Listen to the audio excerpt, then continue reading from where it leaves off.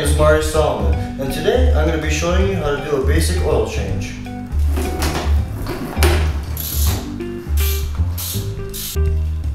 First off, to do the proper oil change, you need the proper tools and supplies, like your rags, a funnel, of course your oil filter and your oil, oil filter wrench, a ratchet and a socket, and an oil pan. Now that you have the proper supplies, let's go get started on your oil change.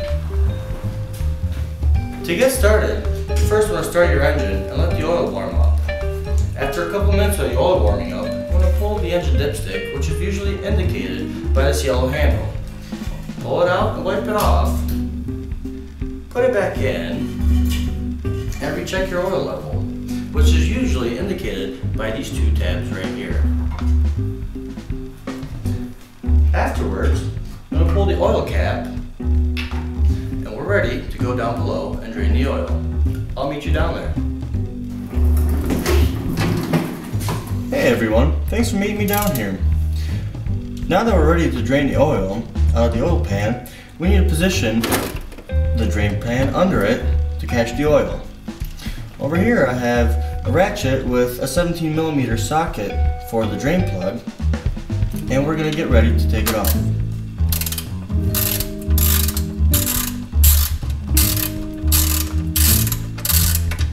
Once the plug comes out, we're going to let the oil drain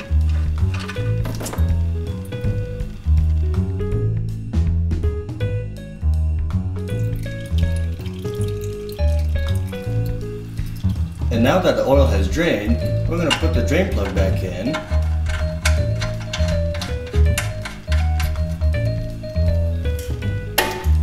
And retighten it until it's nice and snug.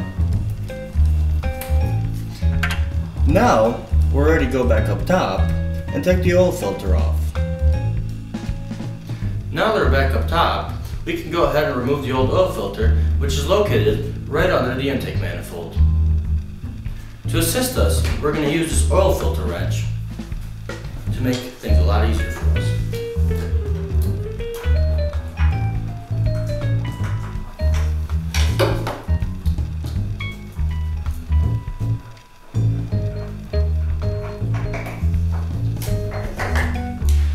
Oil filter is off, we're going to take a rag and clean the base off to make sure we have a nice clean seal. Now we're going to go ahead and put in the new oil filter.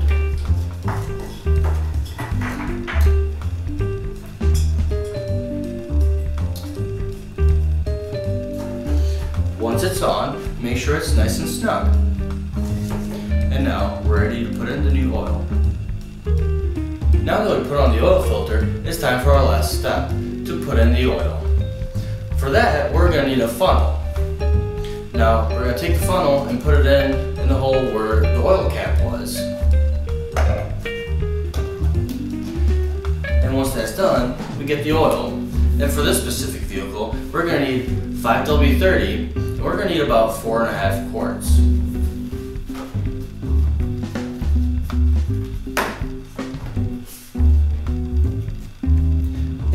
We can go ahead and start pouring the oil in.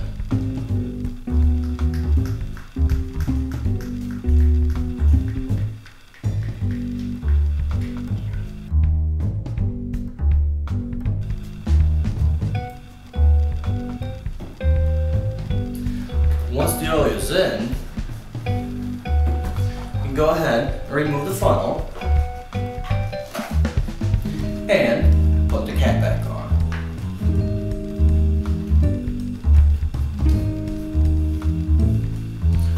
cap is back on, we can go ahead and restart the engine, let it run for a few seconds, and then we go back and recheck the dipstick to make sure the oil is at the proper level.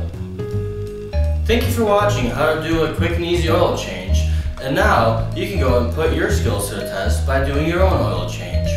And remember, you can always take your oil to your local auto parts store and recycle it. Remember, go green and have a nice day.